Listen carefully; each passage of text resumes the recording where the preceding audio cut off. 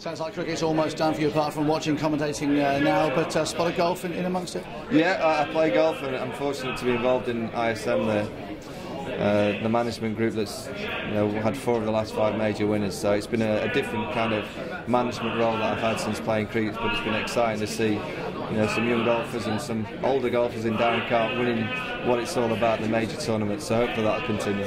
You've been helping him celebrate, I presume. I, have been in Portugal, but I've been on the phone to Chubby, who's. Uh, he's been trying to get him to bed. He's had 36 hours of, of non-stop partying, which you'd expect from a guy that's waited 20 years to win a major. And I'm sure that Guinness drinking will carry on for another week or so.